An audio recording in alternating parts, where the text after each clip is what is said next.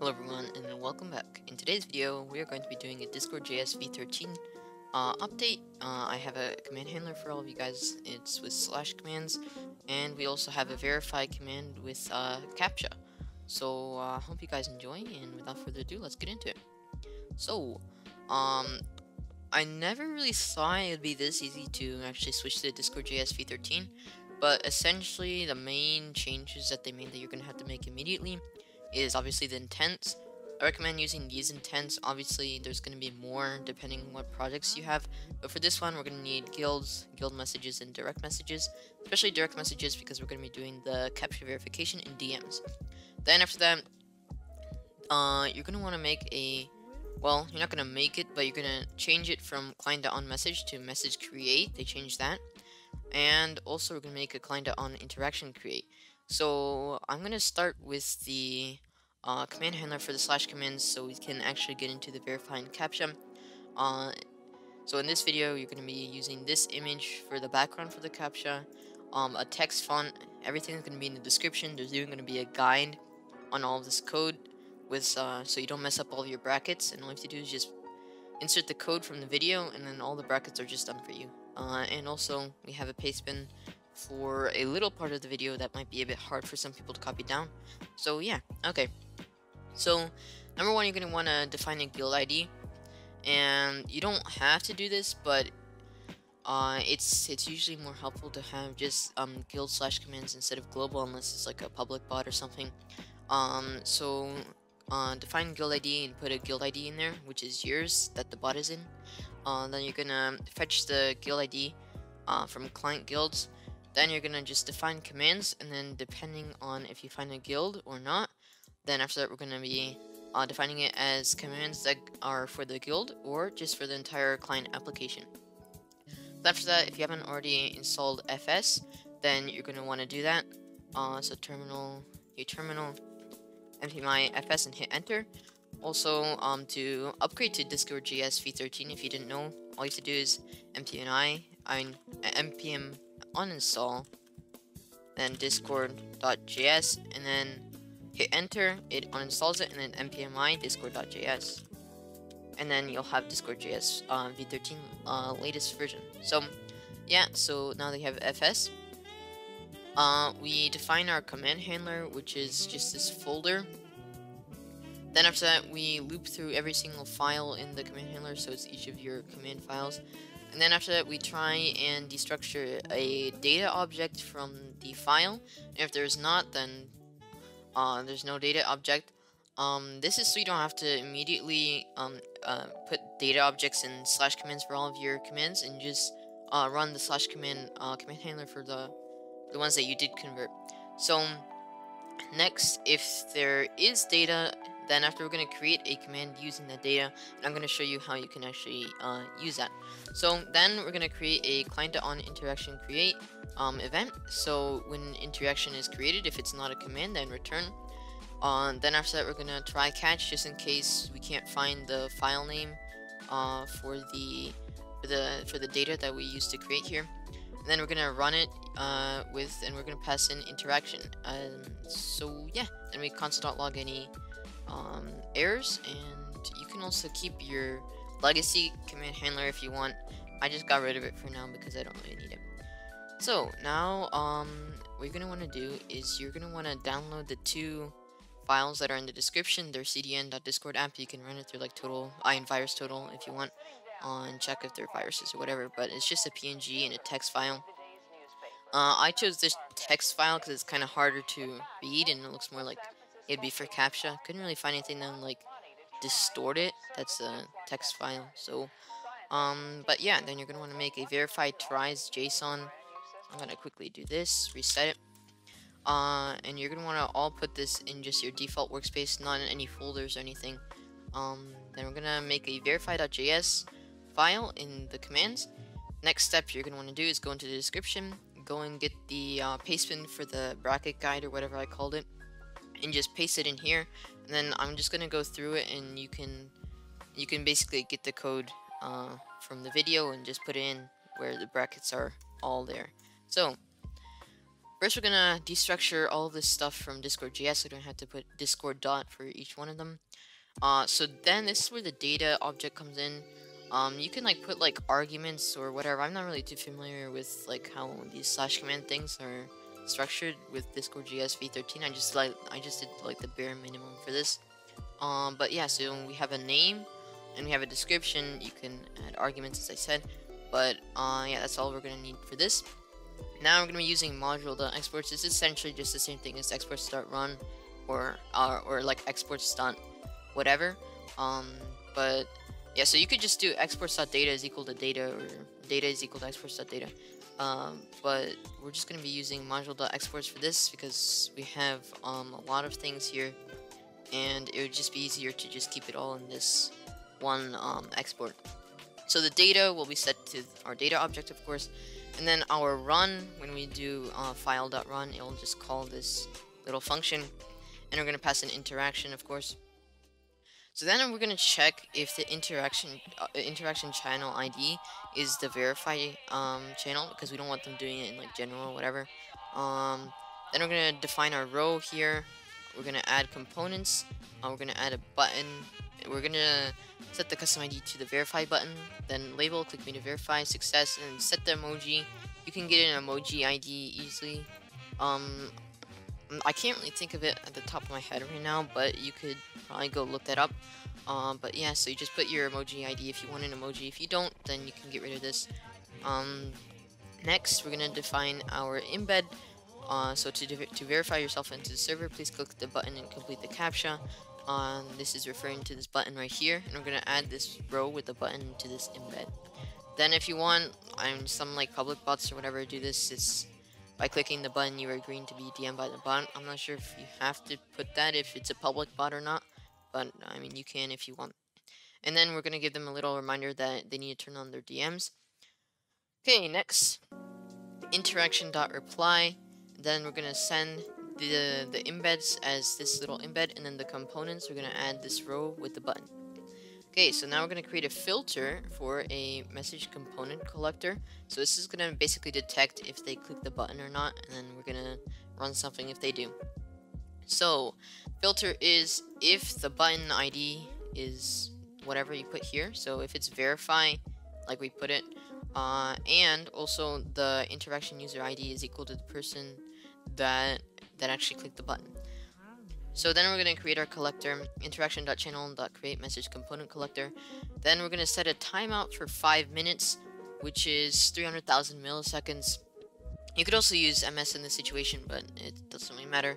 And then in 5 minutes we're going to stop it, because just in case they haven't responded in 5 minutes, we want to close the collector. So then collector.onCollect, so if it does collect anything, um, just in case, again, I mean, you don't really need this. I don't know why I put this, but uh, the filter should have taken care of it. But if um, if it is verify the custom ID of the button that they click, then we're gonna run the code. So we're gonna delete our reply, which is this embed. Um, and then after that, we're gonna uh, fetch the person that clicked the button from the guild, so we can actually send a DM to them. So then we're gonna do a try catch over here. It goes all the way down here. Don't worry, you don't have to copy, I mean, you don't have to copy this down. You just go to the paste bin in the description, and it will all be there. Uh, and it should be like up to right here or so. So, yeah, I'm not sure if this is in, but, uh, yeah, yeah, so you just paste it in there. Um, in my little bracket guide that I put in there, it'll tell you that you should paste the source bin link in here. Next, after we created all of this stuff, um, then we're going to actually uh, create a message attachment as the CAPTCHA. we're just going to call whatever we want. And then we're going to create an embed. We're going to set the title to please complete the CAPTCHA. We're going to set the image to our CAPTCHA that we just created with all this code. Oopsies. There we go. Okay. So now what's going to happen is we're going to send the embed and we're going to define our answer as right here because I made a little ID here that will be the CAPTCHA. Um, and we're gonna just define it so I don't have to use it as Joe instead it can be something more viable like answer. Then we're gonna create another filter. Um, and the filter is just as long as the person who clicked the button is equal to the person that we're actually sending the embed to. So now we're gonna create our message collector in their DM so we can actually collect their answer and check if it's right or wrong. So we have a little try catch, um, and if the message.content uh, is equal to the answer, then we're gonna stop the collector and we're going to give them the role verified uh, interaction.guild.roles.cache define and then you're just going to find whatever your verified role name is or you could put an ID into there as well and we're going to add the roles to the person. So message.reply correct you are now verified and blah blah blah okay so that's it for the, if they do get it right if they don't get it right there's a lot of other things so I basically made it so that if they get it wrong three times and they get banned. If they get it wrong just like once and it's not their third time, then they just get kicked. And uh, so yeah, this is the code for this. So we're gonna define fs because I'm way too lazy to actually make a, a Mongo schema for this uh, and actually run through that. So we're gonna basically define it and if you haven't already made your verified tries.json, just put two brackets in here and um, yeah, so just make that and you can define it here so it can actually read the file. So if there is no uh, data for that user, then we're going to create it because they most likely did not run this command before. And we're just going to give them their three tries. Then I'm going to write all of these changes. And now we're going to check if the person has no more uh, tries left. Then we're going to stop the collector. Uh, this is the third CAPTCHA you failed in a row. Because of this, you've been banned from the server. So if the person is bannable, for example, it's like an admin or something just trolling, we don't want that to crash the bot. So then we're gonna ban them if it's bannable. And you can put a reason, uh, failed CAPTCHA three times in a row. And the days part is just um, how many days of messages you want to delete. Doesn't really matter because I highly doubt they've sent a message, but just in case.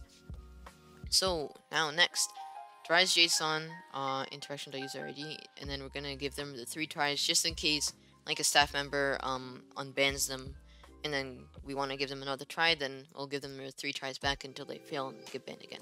So, after we've reset their tries when they get banned, we're to return.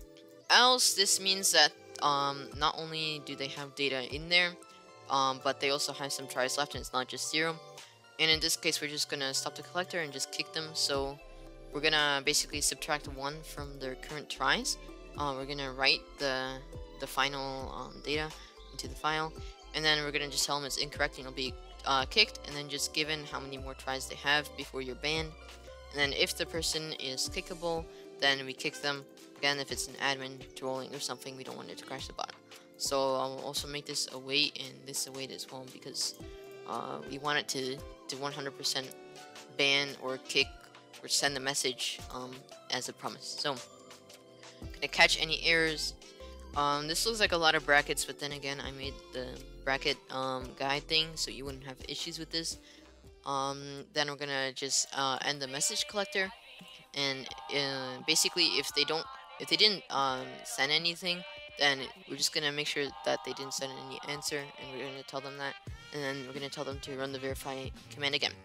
Then catch any errors that we have for for um, way back up there. Uh, this is basically if they um, click the button and they have their DMs off, it'll basically trigger this error and we'll just um, follow up with them and saying that you need to turn on your DMs so you can complete the verification. And then, yeah, this, this ephemeral just basically makes it invisible. So no one else can see except for the person. They can dismiss the message or whatever. Uh, you can upload console.log it doesn't really matter. Uh, then we're to uh, stop the collector from the button. Then this is where the five minutes thing is when we set the timer for five minutes. Uh, so we so we set it for five minutes, and at the end of that five minutes, we stop the collector, and then this will trigger this when it stops. And then on end, if the collected dot size is equal to zero, then it's been five minutes without response. Please run the command again if you want to verify in the server. Uh, again, ephemeral true, and uh, else interaction to reply content. You can only use this command in the and then the verify ID channel. I don't not know. I just clicked my mouse. That was kind of weird. Okay. Well, um, yeah, that's about it. I'll just scroll up one more time in case you see anything. Um, I hope it's not too hard to copy all this down because again, I made the guide. Um, and yeah, I think that should be it for this. Uh, I'm gonna go test it in Discord right now on my own. Okay, so now we're in Discord on my alt account. Uh, so we're gonna go into the verify channel and run our little verify. By the way, uh, when you run this, uh, let me actually run the bot. Uh, it might take a while for it to actually register as a slash command, so you're not gonna see this like um, immediately pop up as a slash command registered. Might have to wait like maybe 20 minutes or so. It's kind of dumb, but uh, it just is how it is. So now our bot is online, and let's send this through to verify yourself, blah, blah, same thing. So this is where the emoji ID comes in. If you want an emoji to come up with the button, then you can do that. We're going to click it, deletes, sends us a DM, and asks us to uh, complete the CAPTCHA. I'm to get it wrong, and then I'll get it right after I get banned. So we got kicked. We have two more tries out of our three tries. Let me just join again. Verify channel. Let's just do the exact same thing kicked. We have one more try. Again. Get it wrong. Now we have no more tries, so if we get it wrong the next time, then we get banned. Verify. Click, yep. And then we get it wrong, and now we are banned. So now if I try and join, it'll say that we're banned from the guild. But I'm gonna unban myself really quick so I can get it right and show you that it verifies me. There we go. Verified channel. It'd be pretty funny if I get this wrong. Okay. GZ2VGZM. Yay, so now we're verified. Um, you can configure the the channel settings so everyone can type in here, but verified cannot. Um, and it should make it so that sure they can still see it, but they can't type anymore in here and actually run the command to get verified anymore. So then, uh, as you can see, we joined and now we have the verified role. So, um, yeah, that's about it for this video. Sorry I haven't uploaded in like 10 years or so, but uh, here it is. Make sure to watch my Valorant Ace video that I uploaded like an hour ago or so. And uh, peace. Have a good day and Happy New Year.